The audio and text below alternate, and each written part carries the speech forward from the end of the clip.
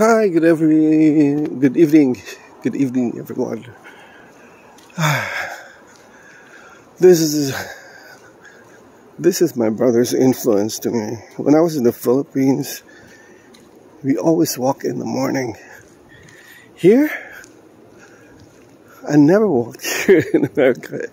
Not every night, not every morning, but in the Philippines, that's the best influence my brother gave to me. And you know the effect of walking? It gives you the energy. So here, um, unlike unlike unlike the Philippines, the Philippines is very warm. Uh, the the temperature for the day ranging from 70 degrees to 80 degrees, but here it's ranging from 50 degrees to 64 degrees. So it's quite a bit cold. But the effect of walking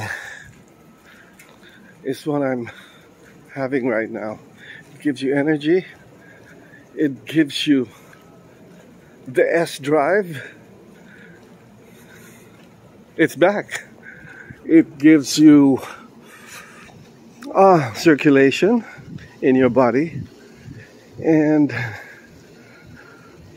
the only thing that is so sad and lonely here is you walk alone. You don't have filipino people walking with you.